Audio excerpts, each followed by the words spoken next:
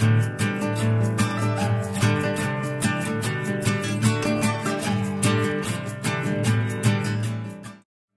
last time you went out to buy a PC or a laptop or even an Android phone these days, and sometimes people make this comparison on iPhones too, a big topic was how much RAM does that device have?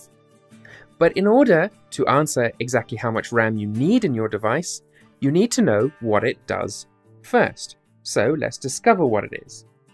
RAM stands for Random Access Memory, which is exactly what it sounds like.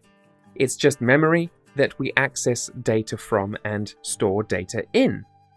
Now, RAM goes really, really fast, 15 times faster than the fastest solid state drive, and well, hundreds of times faster than a normal hard drive. And that's good because when your PC boots up and then it loads Windows or Mac or whatever you've got on it, a lot of components from Windows and Mac will be loaded into the RAM.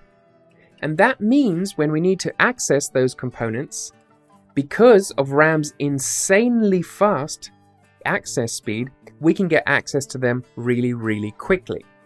So you can think of it as kind of a cache. It's just holding the stuff that we're most likely to use most often.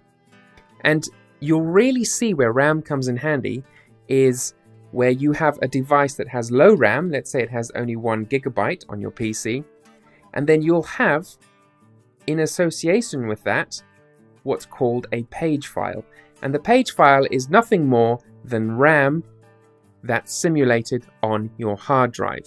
And that means your system is using both your RAM and a little bit of your hard drive as the RAM. And when that happens, you will notice your computer slowing down like crazy and you'll scream at it and say, What are you doing? I don't know. So, in order to answer that all important question, how much RAM do we need in a device? Well, that's answered by, first of all, how much RAM do you need for your operating system, generally speaking? And you can find that out on the internet. If you just look up Windows, Mac OS, or Linux, Linux traditionally needs very little RAM. That's why Linux runs so well on older computers because they have little RAM. And then you also need to think about all of the extra bits and pieces that you'll be running on your computer. Like, you know, the stuff that sits in the taskbar or little watchdogs and stuff like that.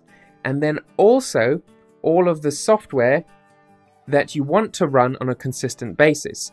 So if you just want to run Microsoft Word occasionally, you don't need a lot of RAM. A PC with 4 gigabytes of RAM is enough.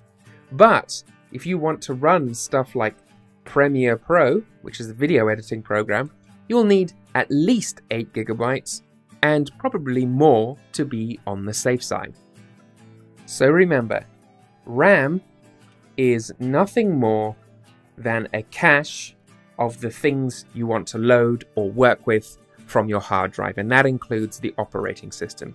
So to find out how much you really want or need, you need to think about the things that you are going to use every day on your computer.